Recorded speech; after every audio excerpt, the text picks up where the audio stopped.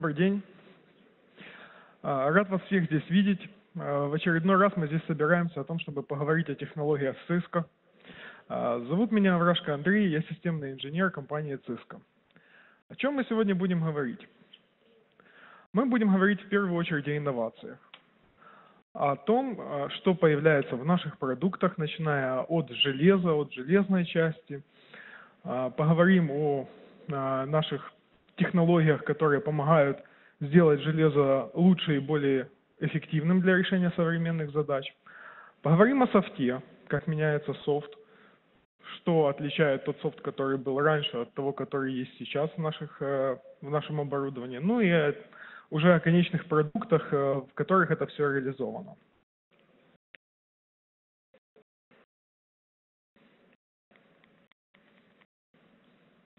Секундочку.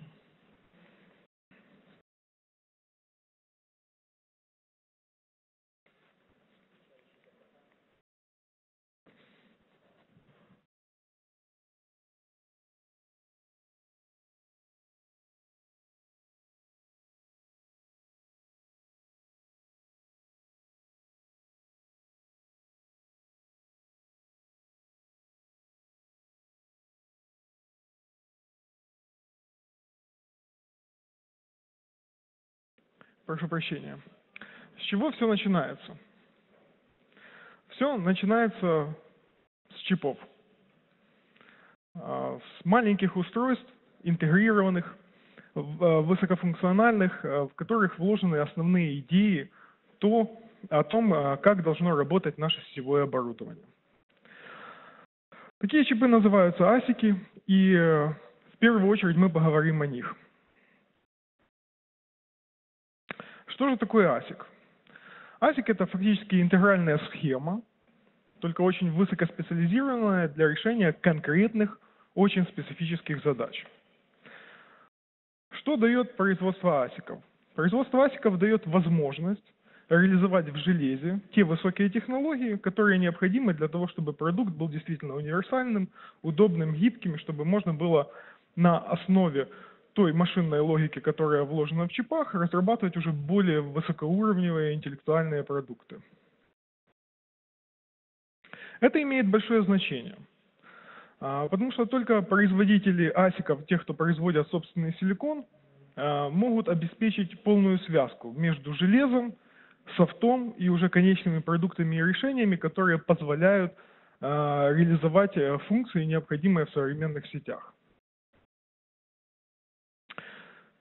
Все начинается с асика. Производится сначала маленькая интегральная схема, которая э, решает ту или иную сетевую задачу.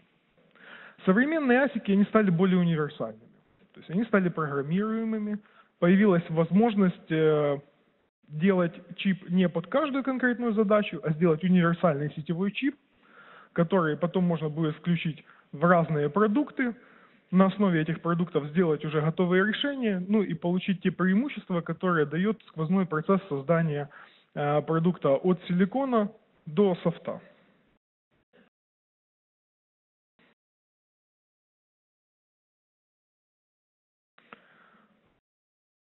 Э, на слайде приведен, приведен пример, э, как меняется плотность транзисторов в зависимости от технологического процесса. А, так, для примера, порядка 2003 года был анонсирован коммутатор Catalyst 3550. А, в нем было 60 миллионов транзисторов и порядка 50 тысяч э, строк кода, которые описывали, как этот ASIC должен работать. Со временем в 2008 году вышел 3750. Всем известный коммутатор, который заслужил доверие рынка как раз благодаря тому, что все инновации, которые появлялись, они были так или иначе а, поддерживаемые технологической базой в виде специализированных чипов, которые были, которыми были оснащены эти коммутаторы. Там уже было порядка 210 миллионов транзисторов и до 90 а, тысяч строчек кода, которые описывали, как он должен работать. В 2013 году произошел очередной прорыв. Cisco сделала асики, которые стали более удобными с точки зрения программирования, а, более высокопроизводительными, и появилась целая линейка коммутаторов, такие, например, как 3850. Там уже было значительно больше транзисторов, это где-то а, под полтора миллиарда транзисторов, и э, в последних версиях мы видим, что у нас уже 3 миллиарда транзисторов. Такое огромное количество, оно появилось неспроста, оно необходимо для того, чтобы реализовывать в железе все больше и больше необходимых сетевых функций. А, что мы ждем в ближайшее время? В ближайшее время мы ждем, что на основе тех э, асиков, которые есть сейчас в 3850 моделях, будут созданы новые устройства, следующее поколение асиков которая продолжит эту традицию, и там уже будет 7,5 э, миллиардов транзисторов. Около 2 миллионов строчек кода, которые описывают, как это должно работать. А. Да. А. Что это дает? Это Cisco Develop Silicon. То есть это сквозные преимущества, когда мы получаем некие функции и возможности в железе, дополняем их софтом и получаем уже решения, которые работают в сети так, как э, задумали наши архитекторы. Разрабатывая собственные асики, мы обеспечиваем простоту реализации инноваций. То есть каждая новая функция, которая должна появиться в сетевом оборудовании, благодаря программируемым асикам может быть описана нашими программистами, запрограммирована в специализированный чип, который будет делать э, ту или иную функцию. Что отличает от обычных процессоров э, асики? Это специализированные чипы, это высокоскоростные чипы, и они заточены, в принципе, под сетевые задачи. А, если кто знаком с архитектурой 86-х процессоров, все знают, что они достаточно производительные. С каждым годом мы видим новое поколение процессоров, но тем не менее, сам набор инструкций, он не оптимален. То есть так случилось, что э, рынок производства чипов пошел по разным направлениям. Commodity устройства, то есть обычные э, процессоры, они пошли по 86-й линейке по архитектуре. А специализированные чипы работают на коротких э, инструкциях, что позволяет делать их более производительными при той же тактовой частоте, при том же количестве транзисторов, обеспечивать выше скорость. Где это критично? Это критично и важно как раз в сетевых устройствах. То есть если маршрутизацию мы еще можем обеспечить на 86-х процессорах, и э, они нам позволяют при современных скоростях делать это достаточно эффективно, то такие вещи, как коммутация, сопоставление тела пакета с какими-то фильтрами и инструкциями, это все должно быть сделано в специализированных чипах. Что еще важно? Собственная разработка чипов – это новый уровень безопасности. То есть если мы понимаем, как сделано наше железо, мы можем обеспечить то, чтобы софт использовал именно это железо для того, чтобы обеспечить всестороннюю безопасность. Это такие вещи, как, например, Trusted Anchor, то есть э, маленький функционал, маленький чип, который обеспечивает аутентичность нашего железа. Софт проверяет, что он стоит именно на том железе, которое выпущено производителем, который создавал софт, и обеспечивает э, гарантию того, что э, не будет каких-либо сторонних закладок, либо возможностей взлома железа со стороны хардвера, то есть железа. Плюс это дает нам непревзойденную масштабируемость. Асики построены таким образом, что мы их можем набирать несколько штук, ну, например, 2, 4, 6, 8, и тем самым э, фактически экспоненциально увеличивать производительность наших сетевых устройств. За счет возможности программирования этих асиков мы получаем защиту инвестиций. То есть однажды созданный чип, достаточно давно, там, в 2000-х годах, может быть обогащен новыми функциями, достаточно просто их дописать. Хочу сразу обратить внимание, что вот такой подход, он на самом деле отличает компанию Cisco. То есть свои чипы делают, э, делает не только Cisco, еще есть производители сетевого оборудования, которые делают асики. Но что мы видим по рынку? После первого релиза продукта с новым асиком, как правило, фичи замораживаются. Что делает Cisco? Переиспользует текущие асики, допрограммирует их, обогащает функциями.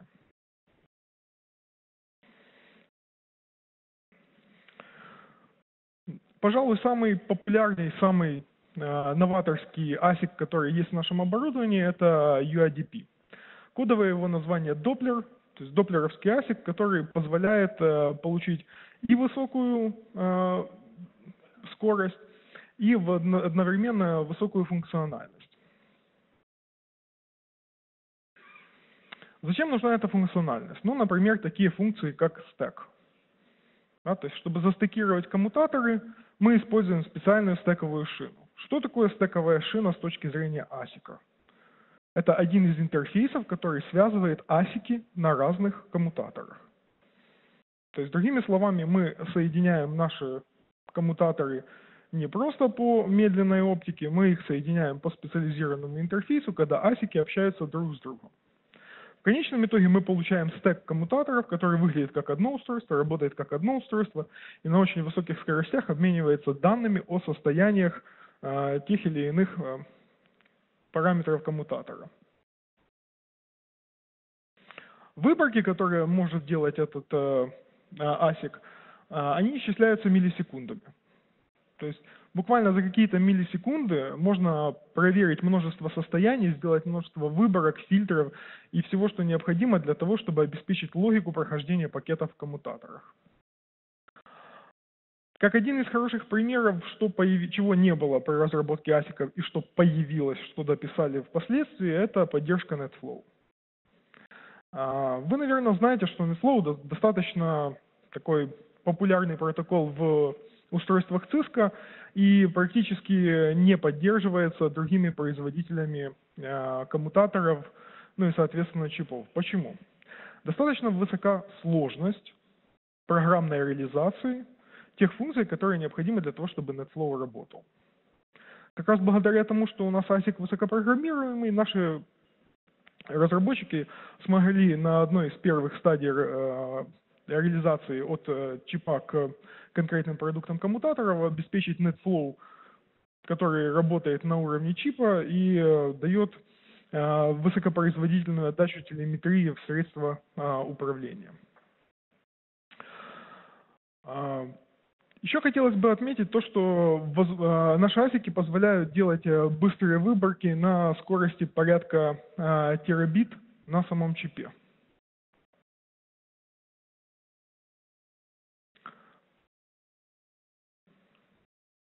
Первым появился ASIC UADP версия 1.0.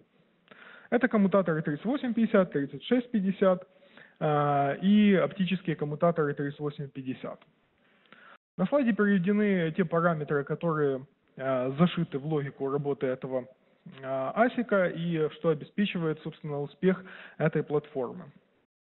То есть это достаточно большие буферы, это возможность экспорта большого количества NetFlow записей, то есть фактически мы говорим о том, что у нас с каждого порта мы можем собирать NetFlow.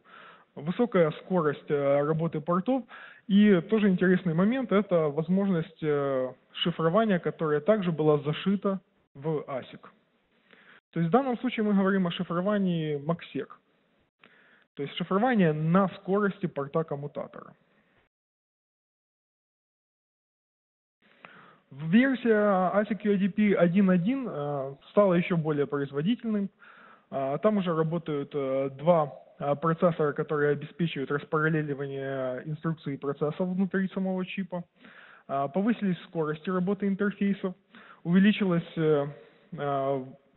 производительность шифрования и длина ключей, которые для этого используются. Увеличилось количество NetFlow записей, ну и, соответственно, мы можем говорить о том, что производительность всей платформы а, увеличилась в разы. Такие асики используются в линейках коммутаторов 3650, 3850 и каталисты 4500 серии. Конечно же, мы ждем в ближайшее время выхода новых платформ. А, к сожалению, даты нашего форума несколько опережают выпуск новых платформ, и мы сейчас о них не можем говорить. Единственное, что я могу сказать, что это будут новые каталисты новые каталисты построены на все той же а, архитектурной модели, когда мы используем собственный силикон, собственные асики для реализации тех новаторских функций, которые у нас появляются в наших продуктах. Еще хорошие примеры из того, что добавилось э, с точки зрения функционала э, после того, как были спроектированы эти асики. Добавились такие вещи, как э, Line Speed GRE, возможность работы с капвап туннелями, то есть обеспечение раскрытия трафика беспроводных сетей. То есть когда у нас коммутатор стал одновременно и контроллером, принимающим трафик от точек доступа. То есть это особенно актуально, когда мы уже переходим на а, скорости гигабитного Wi-Fi. Буквально недавно появилась поддержка MPLS в этих чипах. Тоже, опять-таки, это все было запрограммировано, и благодаря тому, что асики программируемые, мы получили возможность достаточно быстро, без изменения железной составляющей архитектуры, получить поддержку, опять-таки, в программируемом железе нужных функций.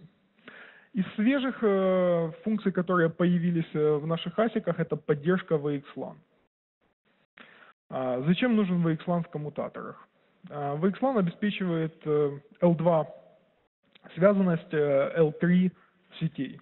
То есть если у нас есть филиальные сети, мы в принципе можем с помощью коммутаторов обеспечить L2 связанность э, всех наших подразделений, всех наших access-портов.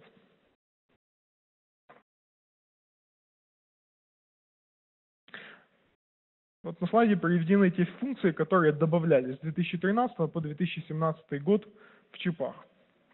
Еще стоит, наверное, добавить то, что появилась э, поддержка э, меток безопасности security group э, которые также отрабатывают в железе на наших коммутаторах.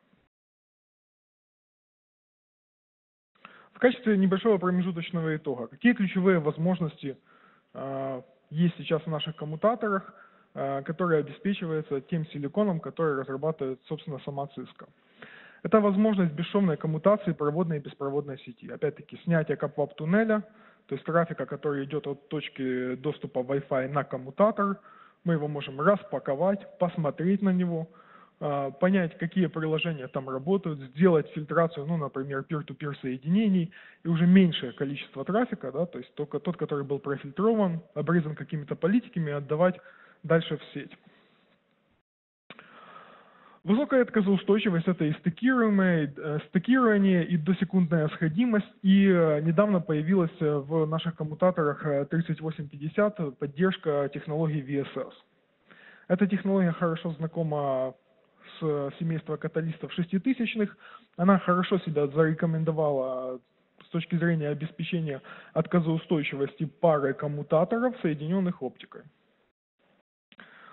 А, из интересного, что у нас еще появляется и продолжает появляться в наших коммутаторах, это наборы услуг, связанные с а, Power over Ethernet, то есть а, поддержкой питания по витой паре.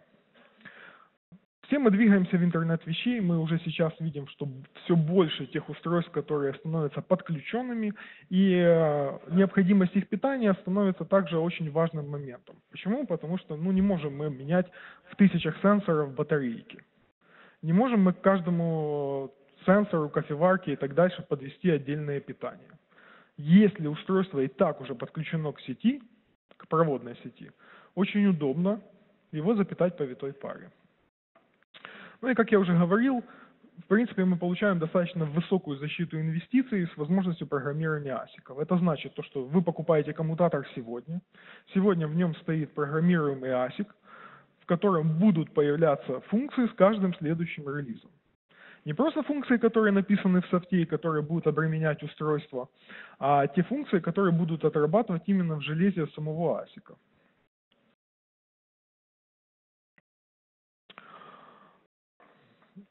Асики в маршрутизаторах. Quantum Flow процессор – это тот ASIC, который появился с выходом линейки маршрутизаторов ASR – и который, в принципе-то, и обеспечил успех этой платформы. Что дал нам QFP? QFP дал возможность э, получить высокопроизводительную маршрутизацию в пределах там, одного либо нескольких юнитов.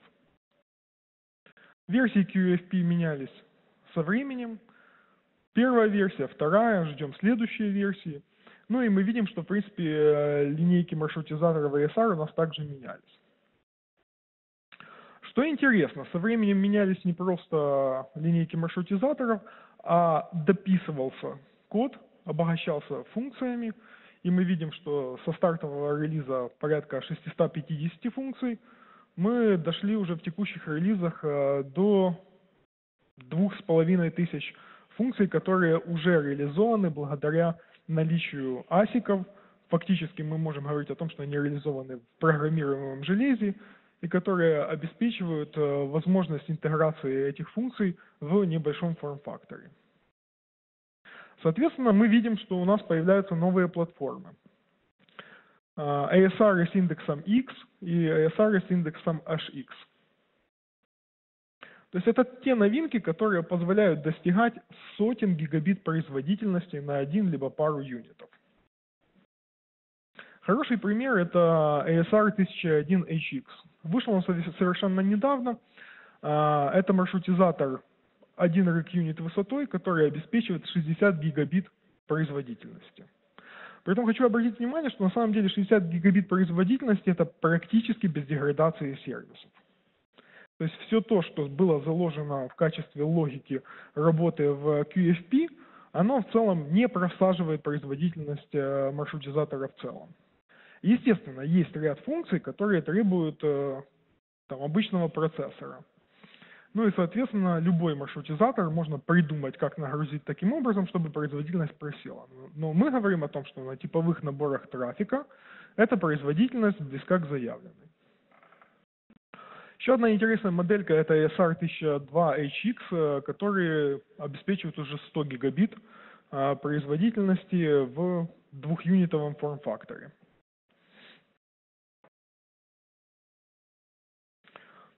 На слайдах останется референсная информация а, о том, а, какие а, у нас есть возможности с точки зрения расширения новых платформ модульных. Это 1006X и 1009X ASR. Новое поколение QFP, кодовое название Proциon, обеспечивает возможность реализации сотен гигабит на одной платформе. То есть мы можем просто взять несколько таких асиков, 2, 4 и больше, ну и получить, соответственно, 100, 200, 400 гигабит без просадки производительности. Для каких сценариев оптимизированы современные маршрутизаторы, которые используют вот такие чипы? Это в первую очередь uh, Intelligent One, это классическая WAN-агрегация, это Internet Edge, это Data Center Interconnect, э, это возможность Э, реализации связки нашей э, инфраструктуры ACI, которая работает в дата-центрах, то есть SDN-подход в дата-центрах, с тем SDN-подходом, который работает у нас в кампусных сетях. Как раз э, Proциon позволяет обеспечить возможность связки двух миров, там, скажем так, кампусной сети, ван-сети и той сети, которая работает в дата-центре на уровне политик. То есть как раз Quantum процессоры будут обеспечивать трансляцию тех э, машинных параметров, которые обеспечивают identity э, в э, цодах, там, где мы говорим о приложениях, и э, identity тех групп пользователей, которые к этим цодам подключаются. Новости в софте. Всем знакомо сокращение iOS, это наша операционная система, которая работает на всех коммутаторах. А, look and feel, скажем так, ощущение от использования всегда одинаковое, но последние версии iOS у нас называется iOS XE. То есть это а, новый iOS, который модульный, который обеспечивает большую гибкость как с точки зрения реализации функций, так и с точки зрения простоты разработки для нас, как для производителя этой операционной системы. Что интересного появилось в iOS XE? Ну, в первую очередь это а, понятие демонов. То есть сам iOS работает э, как процесс, демон. А, плюс появилась возможность запускать э, приложения, которые а, работают э, совместно с этим iOS. Такие приложения, ну, например, как Wireshark, Wireless ну и так дальше. То есть это то, а, что обеспечивает некую модульность нашего софта. А, зачем это надо и куда мы движемся? У нас появилась новая ветка наших iOS XE, это 16 -я. Внутреннее название Polaris, внешнее название Denali. То есть, наверное, вы где-то уже встречали его. А, в чем особенность э, линейки EOS XE 16 ветки? Основная логика изменения была заложена в сторону возможности массового программирования устройств. Что для этого было сделано? iOS фактически переписали с нуля. То есть он остался для администратора на вид точно таким же, CLI такой же, но внутренняя структура была значительно изменена. А, сделано это было для того, чтобы такие протоколы массового управления устройствами, как а, NetConf, OpenFlow и RESTConf, могли адресовать конкретные настройки на наших устройствах.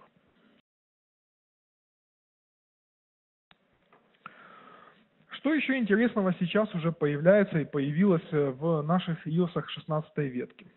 С версии 16.5 у нас еще больше было сделан фокус на модульность. То есть вынесли такие процессы, как OSPF, BGP и многие другие с монолитного кода iOS в отдельные сопроцессы. Что это дает? Это дает возможность при э, отказе единичных э, программных компонент добиться работоспособности всей платформы в целом. Плюс мы получаем э, возможность э, получить э, программируемость конфигураций и получение операционных состояний тех счетчиков, которые, которые отрабатывают на наших коммутаторах. Другими словами, у нас есть возможность массово применить ту или иную функцию на всем сетевом оборудовании, которое у нас есть в сети, и получить обратную связь о том, что да, действительно у нас изменения были успешно применены, у нас э, есть такие-то метрики, счетчики трафика, ну и так дальше. А, что, какая идея лежит за таким подходом? Это модели Young. Модели Young – это высокоуровневое описание того, чего бы нам хотелось получить от устройств.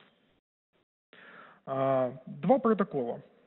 Young – это высокоуровневые модели, и NetConf как транспорт обеспечивает возможность напрямую адресовать Crimson DB, то есть ту базу данных, которая появилась в наших новых iOS, и обеспечить э, реализацию массового применения функций на сетевых устройствах. То есть мы теперь получаем возможность представить всю нашу сеть в виде единого облачка, от которого мы просим ту или иную функцию применить на всех устройствах. Young-модели, они э, декларативные, то есть мы не говорим о том, что нам необходимо включить функцию номер 23, мы говорим, что у нас есть необходимость обеспечить, ну, например, там, косы из конца в конец. И если устройство может это реализовать, оно это реализовывает. То есть мы получаем некий уровень абстракции, который полезен и необходим программистам, которые обеспечивают превращение всей сети в один живой организм. А, есть общие модели, которые разрабатывают, ну, такие, например, пользователи, как Google. А, есть э, Cisco-специфические модели, и есть модели, которые вынесены в стандарты ETF. Две трети тех моделей, которые разрабатываются в пределах стандартов, это то, что, в принципе, принесла Cisco как разработчик, как новатор э, с точки зрения реализации вот такого функционала. Что мы получаем в итоге? В итоге мы получаем единую операционную систему, которая работает на свечах, на Wi-Fi устройствах, на роутерах и на устройствах интернета вещей. Мы получаем единый подход с точки зрения программируемости всей этой сети. Это дает нам возможность упростить и ускорить разработку таких решений, как SDN-контроллеры и системы массового управления сетью, такие как Prime Infrastructure. То есть у нас в iOS работает iOSD, демон, который обеспечивает, скажем так, трансляцию команд администраторских функций. У нас есть э, общие драйверы, которые обеспечивают работоспособность этой операционной системы. Есть э, приложения, которые помещены в контейнеры для простоты э, их, скажем так, э, добавления э, на то или иное устройство. И есть общая база распределенная база Crimson, которая позволяет программировать эти устройства. Таким образом, мы уходим от э, необходимости трансляции тех э, выводов и команд, которые у нас есть э, в наших, скажем так, классических устройствах и те, которые понятны человеку, к моделям, которые позволяют упаковывать в XML либо в JSON формат выводы там, от счетчика, от конфигураций, представлять их более высокоуровневым системам и, обеспечивать а, то, что называется data modeling, то есть моделирование всей сети. То есть, другими словами, у нас сетевые устройства там, в ближайшем будущем превратятся просто в коробочки, от которых мы просим ту или иную функцию. Все эти функции накатываться будут массово и включаться по необходимости по декларативным моделям, которые обеспечивают нам а, такие средства моделирования, как Yang и протокол NetConf. В ближайшем будущем что мы увидим на наших э, свечах, на наших каталистах? Это все большее количество тех контейнизированных приложений, которые будут работать на, сам, на платформе самого коммутатора. Это такие вещи, как Personar, это возможность интеграции со средствами мониторинга Kibana, а, с шинами обмена сообщениями Kafka и многим другим open source софтом, который уже сейчас массово используется а, современными а, разработчиками для того, чтобы обеспечить автоматизацию и связанность всей сетевой инфраструктуры. Конечно же, это будет совместимо с э, средствами массового управления, такими как Chef, Puppet и Ansible. Из интересного у нас появится поддержка Python на наших коммутаторах. Что это даст? Все знают, что в коммутаторах есть э, такая функция, как э, а, возможность написать скрипт для выполнения той или иной задачи. Проблема в том, что скрипт остается всегда локальным. Он не может никуда постучаться, не может передать свое состояние во внешние базы данных, а, к нему тяжело подключиться, кроме как э, через там, систему стандартного управления SSH, либо там, Telnet и так дальше. А, реализация движка интерпретатора Python на самом коммутаторе позволяет а, уйти от этих ограничений и фактически все те скрипты, которые работают локально, позволят связать с какими-то высокоуровневыми системами управления, мониторинга, в том числе сторонними. Python язык интерпретируемый, то есть э, внесение любых изменений мы будем видеть сразу, то есть нет необходимости компиляции и так дальше. Сердце в современной сети, безусловно, э, будет и там уже есть и продолжает быть Epic EM, то есть SDN-контроллер, который позволяет связать э, вышестоящие приложения, которые обеспечивают функционал безопасности, качество обслуживания, а, реализацию тех же функций, например, как Intelligent One, внедрение нулевого дня и многое-многое другое, средствами API может это все дело передать на, сетевые, на сетевое оборудование, на коммутаторы, маршрутизаторы, ну и в принципе на всю сеть. Такой подход называется Controller-Led Automation, э, то есть автоматизация с помощью использования контроллеров. А, в чем секрет такого подхода? Первую очередь мы говорим о том, что мы не, не конфигурируем устройство, мы решаем бизнес-задачу. То есть мы не отвечаем на вопрос, как сделать необходимые изменения, мы, в принципе, отвечаем на вопрос, зачем их сделать. То есть нам необходимо обеспечить приоритизацию голоса в сети. Это высокоуровневая бизнес-задача. Низкоуровневое решение, то есть фича, это quality of service. То есть мы не будем уже дальше в будущем настраивать, например, quality of service, либо какую-то там функцию номер N, мы будем решать бизнес-задачи. Такие бизнес-задачи будут решать приложения, которые у нас будут там, жить, связываться с нашим контроллером средствами API. Это дает гибкость для сторонних разработчиков, это дает возможность легко транслировать те политики высокоуровневые, которые у нас определяют бизнес-задачу, в специфику конкретного железа. Железо э, всегда будет интерпретировать высокоуровневые бизнес-задачи ровно таким образом, который, каким оно умеет это делать. То есть, поскольку функционал э, будет требоваться декларативно, нам бы хотелось бы, чтобы был бы обеспечен максимальный уровень сервиса. Умеет это устройство делать с помощью четырех метакос, либо восьми, с двумя очередями, либо с четырьмя, с разными маркировками, в принципе, это не столь важно. Все это будет так или иначе скрыто под э, средствами автоматизации, и это в значительной мере будет упрощать э, внедрение э, функций по сети. Ну и самое главное, таким образом, с помощью контроллера мы сможем обеспечить связанность высокоуровневых бизнес-задач и тех настроек, которые мы получим на наших устройствах.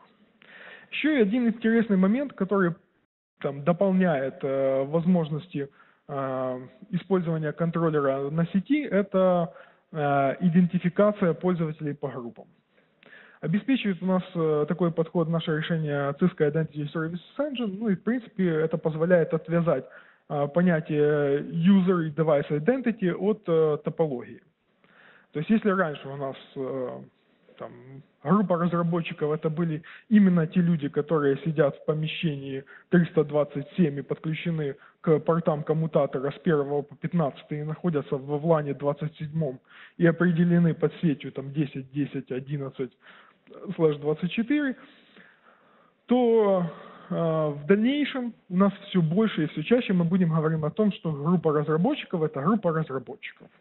Это живые люди, это персонализация доступа, которая может быть получена из Active Directory, либо с базы данных какой-то сторонней.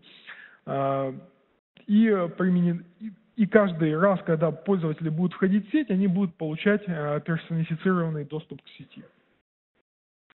С ростом а, количества политик высокоуровневых требований в сети будет уменьшаться количество статических конфигураций. То есть мы это уже видим сейчас – эти модели, они развиваются, ну и мы ожидаем, что в ближайшем будущем э, в целом уйдет необходимость настройки каждого конкретного устройства. То есть это облегчит управление сетью, это создав некий уровень абстракции, это сделает гибкость э, по наращиванию функций, необходимых в сети. Почему э, мир идет в эту сторону? Ну, конечно, как бы хотелось иметь полный контроль и полное понимание, что реализовано на каждом там, конкретном устройстве, сделать шоу-ран и увидеть полную конфигурацию, там, переварить ее через себя и понять э, специфику настройки каждого устройства, но количество функций постоянно растет. Требования постоянно растут. Это как пример э, с современной физикой. Нету человека в мире, который бы смог бы в своей голове удержать весь тот багаж знаний, которым оперирует, ну, например, такая наука, как физика все меньше людей в мире, которые могут удержать в голове полный стек технологий, которые необходимы для работы сети. То есть многие из вас проходили сертификации Cisco CCNA, CCNP, CCIE и так дальше. Вы видите, с каждым годом э, количество направлений в этих сертификациях увеличивается. То есть роутинг свитчинг был отделен, wireless был отделен, дата-центры были отделены в отдельные направления – потому что для этого нужны отдельные специалисты. Отдельные специалисты, которые будут держать весь тот багаж специфических знаний в своей голове. Не просто держать в голове, а транслировать их в какие-то настройки, в решения, в архитектуру в сети. Основная идея индустрии э, сделать так, чтобы люди все меньше заботились о том, как именно это сделано, а все больше заботились о том, зачем это делается. То есть если есть высокоуровневая бизнес-идея, то тонкости реализации на конкретном оборудовании, ну, в принципе, это то, что можно скрыть средствами автоматизации. Вот такая идея с э, трансляцией традиционных конфигураций в высокоуровневой политике. Что это позволяет сделать? То есть, когда у нас появляются политики в сети, когда у нас появляются контроллеры, которые управляют, ну, например, Epic дата-центром, Epic EM нашей кампусной Иван-сетью, у нас появляется возможность на уровне политик автоматизировать связку отдельных доменов, да, то есть домена там, дата-центрового, домена обычной корпоративной сети и так дальше. А, что важно? То есть уже сейчас каждый из этих доменов э, выполняет очень специфические функции. То есть в кампусной сети у нас э, user-centric infrastructure, то есть когда мы ориентируемся на пользователя, на устройство, на его роль в сети, на тот необходимый набор сервисов, которые он должен получить вне зависимости от того, где он подключился в сети. В дата-центре мы ориентируемся на приложение. Какая сервисная цепочка должна быть для приложения? Должно ли оно пройти устройство безопасности? Какие? Firewall, IPS, Web Application Firewall, Load Balancer и так дальше. Что должно отличать одно приложение от другого? Как должны быть выстроены приоритеты? А, вручную связать политики, специфические для дата-центра там, с точки зрения SDN подхода и э, э, политики, специфические для нашей классической сети – достаточно сложно. То есть это в любом случае потребует неких средств автоматизации. И вот как раз благодаря тому, что у нас появляется единая точка входа в каждый из доменов управления, это контроллер, мы получаем возможность связать на уровне политик всю сеть воедино. Еще интересный момент, который появляется в наших операционных системах. Это возможность накладывать патчи так называемый подход э, SMU, э, Software Maintenance э, Update. Пример. Есть у нас iOS, в котором вы как заказчик наступили ну, на какую-то неприятную, досадную там, вещь, как баг. Такое случается. Ну, конечно, можно ждать, когда обновится полностью весь iOS и нужный баг будет полечен. Но что у нас будет сделано в ближайшем будущем? Как раз благодаря тому, что у нас уже вынесены многие процессы, такие как, например, маршрутизация SPF, там, BGP и так дальше, в отдельные автономные куски кода появится возможность эти куски кода патчить независимо. То есть э, это rollout фич, это скорость внедрения изменений и возможность, в принципе, там, оставить работоспособный, высококачественный код, который обеспечивает другие функции, нетронутым, а заменить только то, что требует внимания. А, о чем говорят наши разработчики? Они говорят о том, что мы, безусловно, будем уходить от такого понятия вернее, не будем его даже применять как сервис-паки, то есть у нас не будет подхода, как у Microsoft, когда мы все там ждем второго сервис-пака, чтобы это все заработало. У нас будут кумулятивные апдейты под, по конкретным направлениям. То есть для SPF будут свои SMU, для BGP будут свои SMU, ну и так дальше. То есть а, каждый следующий SMU будет включать все предыдущие патчи, все необходимые изменения, ну и в целом это упростит Э, возможность э, реализации изменений, не трогая там, э, основную версию EOS XE.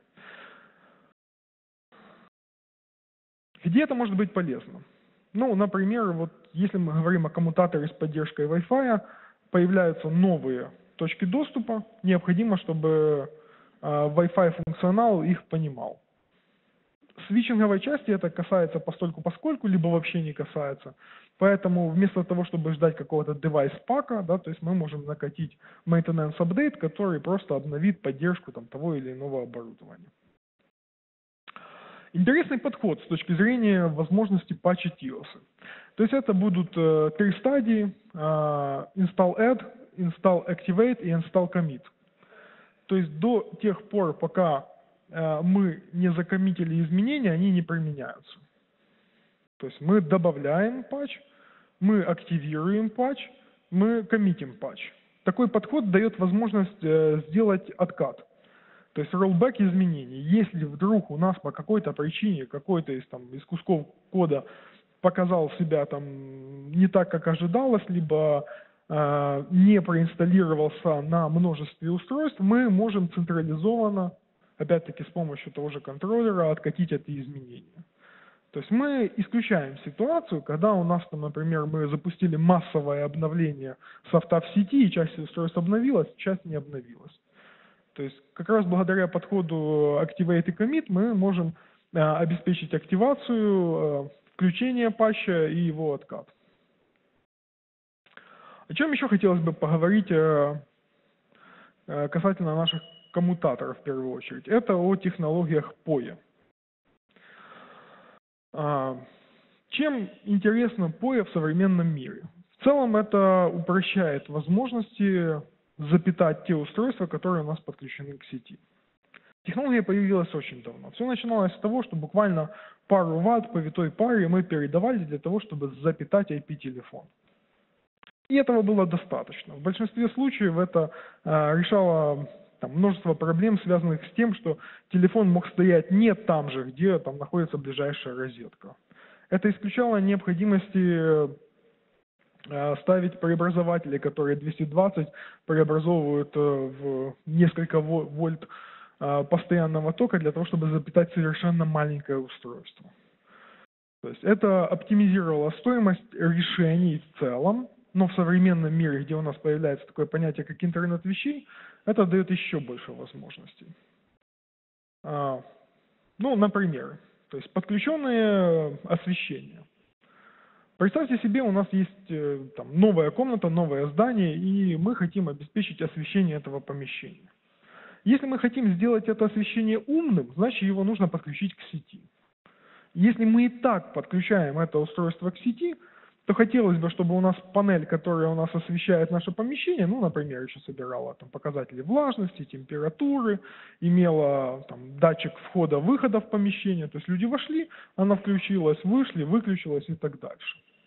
Но крайне неприятная была бы ситуация, если бы мы там вынуждены были ждать там минуту-полторы, пока загрузится коммутатор без света в этом помещении.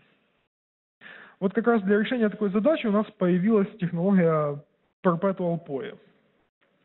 Когда в момент перегрузки коммутатора у нас э, все подключенные запитанные устройства продолжают получать энергию, ну и, например, освещать помещение.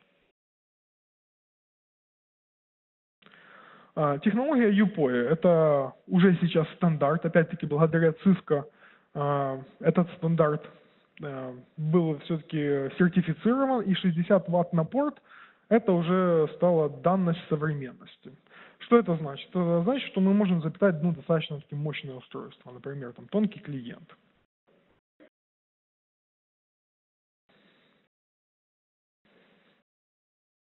Появилась еще технология FastPoE. FastPoE технология запоминает последние истоки э, и подключенные устройства – и э, до того, как загрузился основной софт коммутатора, обеспечит их питание. То есть это две комплементарные технологии. Perpetual PoE и Fast PoE. То есть мы их применяем там, где это необходимо.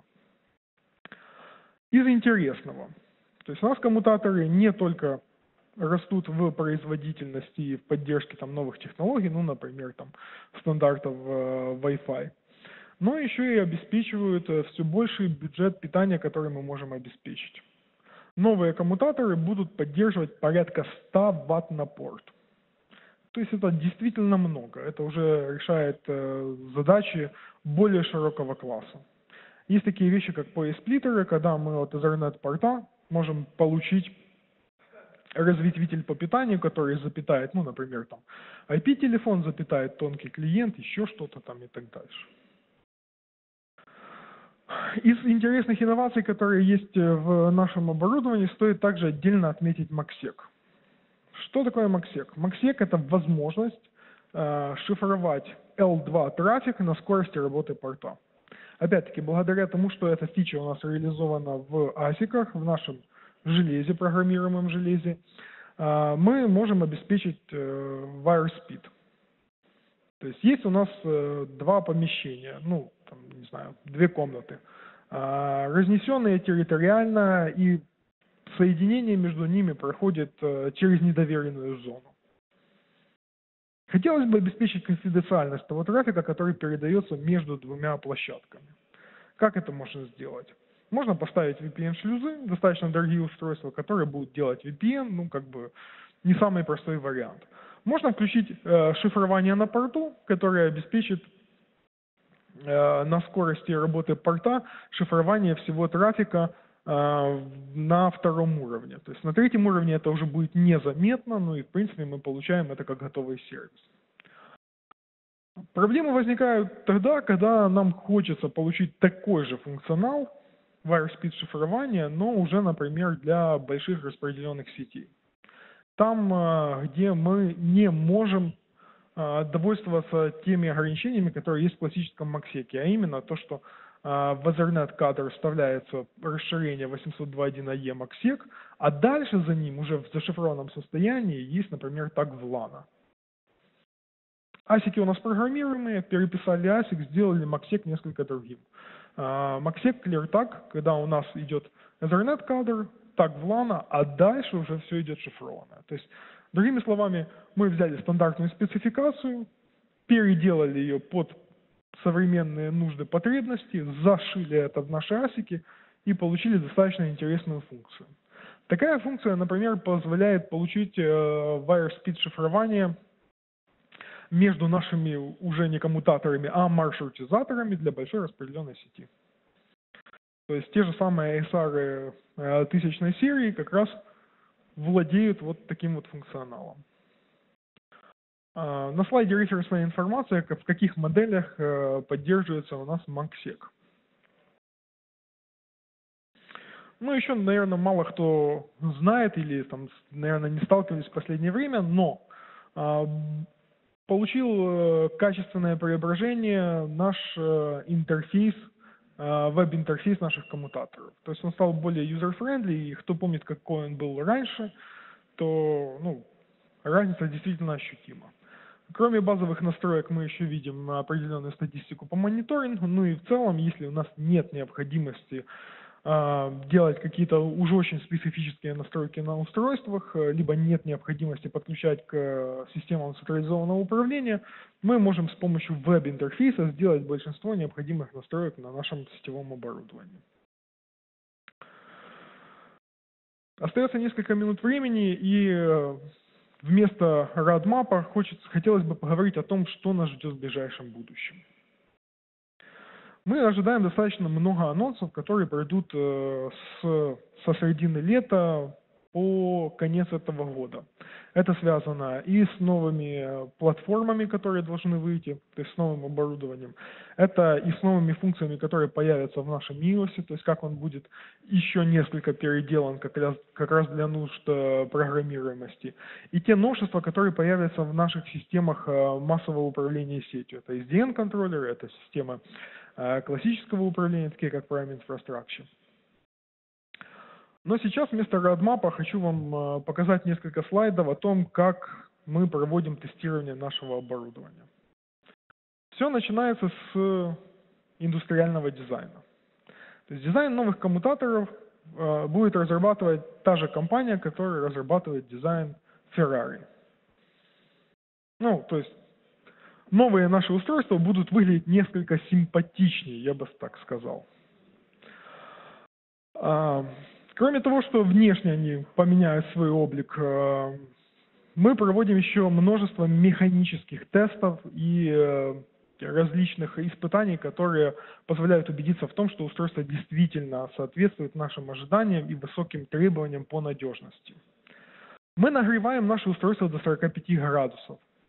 Иногда мы их нагреваем даже до 90 градусов. Да? То есть проводим испытания, которые необходимы для, э, для того, чтобы убедиться, что а температура – это не ограничитель для наших устройств. Мы их замораживаем. То есть минус 5, когда у нас а, вода превращается в лед, тоже, в принципе, такой показатель, который позволяет нам убедиться в том, что устройство выдерживает не только жару, но и холод. Повышаем влажность. При испытаниях влажность иногда доходит до 95%, и проходят э, ряд тестов в таких условиях.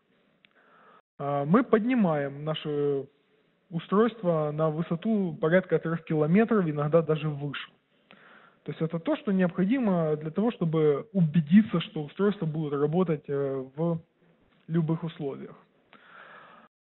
Наши устройства проходят э, тестирование по, на, на вибрацию, то есть порядка 7 и двух баллов по шкале Рихтера – это то, как, как мы трясем наше устройство и проверяем, а работают ли они после этого.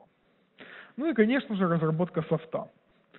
Все начинается с того, что у нас э, наши разработчики проводят внутреннее тестирование, потом идет 10 месяцев тестирования совместного функционирования того кода, который был написан в асиках, а, функциональных тестов, связанных больше с iOS, ну и системных тестов, как это работает все вместе. А, те устройства, которые выйдут в ближайшее время, то есть они уже тестируются порядка 4 месяцев, а, общее количество тестируемых дней уже больше двух с половиной тысяч.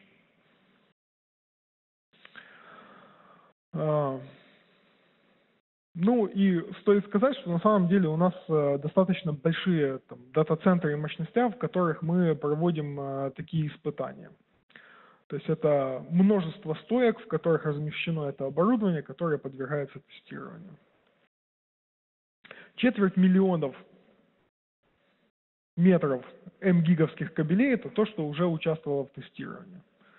То есть Multi-Gigabit Ethernet становится трендом, становится стандартом. Есть уже сейчас спецификации открытые, которые поддерживают 2,5 гигабит Ethernet, 5 гигабит Ethernet, ну и десятку по витой паре.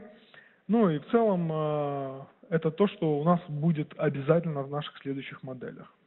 Ну и мы уже в двух словах поговорили о том, что мы ожидаем порядка сотни ватт на порт POE, это количество энергии, которое там, достаточно для того, чтобы запитать там, электромобили и проехать на нем с десяток миль.